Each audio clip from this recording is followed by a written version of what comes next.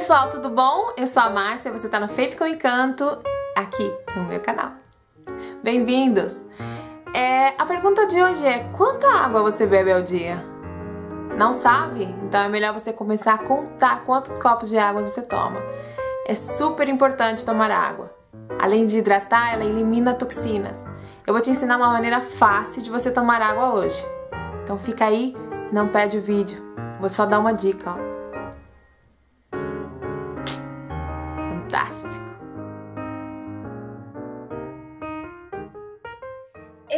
Ingredientes que você vai precisar para fazer a sua água aromatizada. Logicamente, você vai precisar de muita fruta. Na verdade, não precisa tanta, tá, gente? Eu coloquei as que eu tinha aí e que também coloquei pepino e hortelã.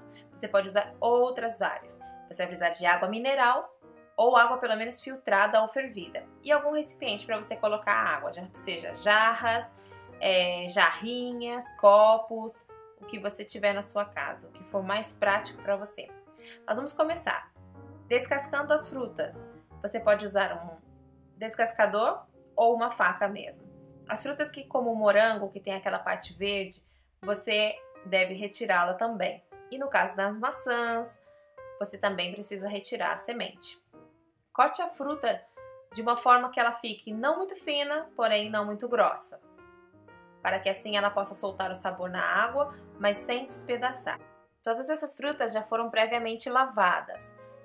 No caso da mexerica ou da laranja, se você for cortar ela em pedacinhos, o melhor é você tirar aquela parte branca, que seria o bagaço, ou esses fiapinhos que ela tem, para que ela não solte o sabor amargo que é característico dessa parte na água.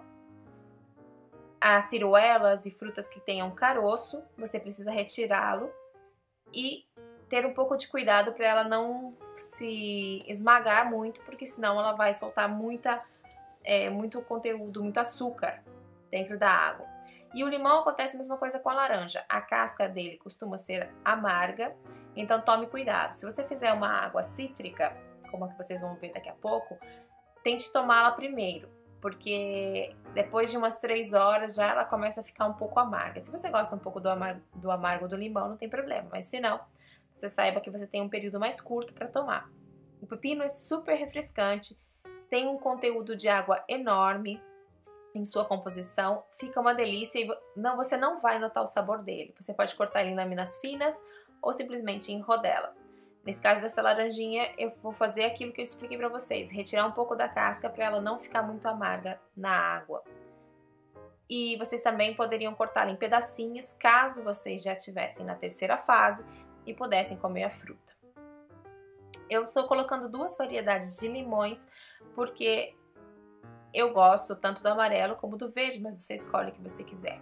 O passo a seguir é você colocar água no recipiente. Lembre-se de não colocar muita água ou até o topo, porque senão vai transbordar. Coloque as frutas que você achar necessária ou que você gostar. Nesse caso eu vou usar o morango, a ciruela e também um pouco de mirtilo.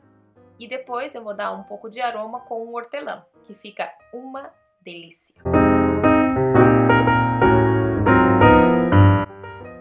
É sempre melhor você guardar a água tampada. Se você não tiver, se, você, se não tiver tampa o seu recipiente, use um pouco de papel filme. No caso da maçã, eu prefiro cortá-la diretamente em cima do, do recipiente, pelo motivo de que ela fica oxidada, ela fica escura se você cortar antes. Então, nessa água, eu usei canela, mexerica e maçã. E ela fica realmente saborosa. Vamos fazer uma um pouco mais cítrica. Vou usar laranja, vou usar limão amarelo, limão Tahiti e o pepino, para que dê todo um sabor diferenciado na nossa água. Vai ficar uma delícia, prova aí que você vai ver. Não coloca muita água, porque senão transborda. Tive que tirar um pouco, vocês viram, né? Vou colocar também um pouco de kiwi, para que dê um pouquinho mais de... desse sabor mais doce na água. Gente, o que você não pode fazer é amassar as frutas na água, só remova um pouquinho. Eu tô usando um hashi, que eu sempre uso para misturar suco, para poder fazer com que ela, as frutas se movam e fique bonito no pote. Mas, por favor, não amasse as frutas. Nesse recipiente maior, o que eu vou usar é água com gás. Essa água vem com um pouquinho de, de adoçante, ela é docinha. Aqui se chama gaseosa ou caseira. E nessa eu vou usar tudo aquilo que sobrou, porque na verdade é que tinha muita fruta sobrando e eu coloquei todas as que sobraram, tá? Então vai fazer assim um mix de frutas. Eu completei com água depois, porque eu não sabia quanto ia ocupar no recipiente.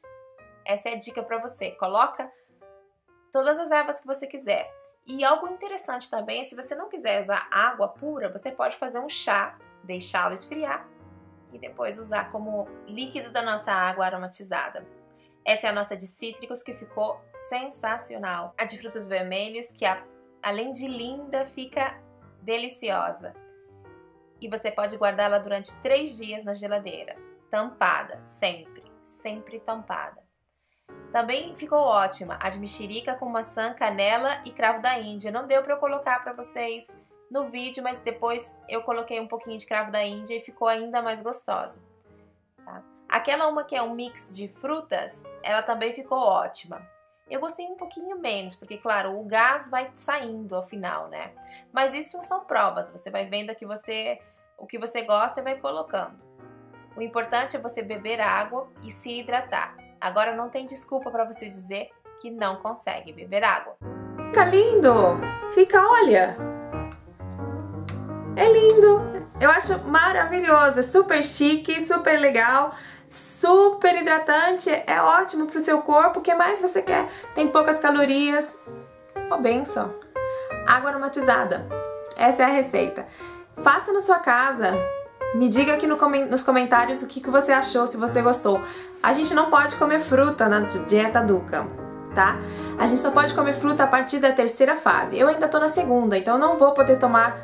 Eu vou poder tomar a água, mas sem comer a fruta. Caso você já esteja na terceira fase, então sorte a sua. Você pode também comer a fruta depois de tomar a sua água aromatizada. Fica uma delícia. É muito refrescante. Essa que tem pepino, é uma das mais refrescantes que, que, que tem. Então, prove, faça receitas diferentes, coloque outras ervas, você pode usar erva luísa, é, alecrim, erva cidreira, você pode usar muitas coisas, além da menta ou hortelã. Você pode usar também canela em pó, gengibre, fica a seu critério, a seu gosto, o que você quiser é o que você vai poder colocar na sua água. Essa é de morango, com mirtilo e ciruela com hortelã.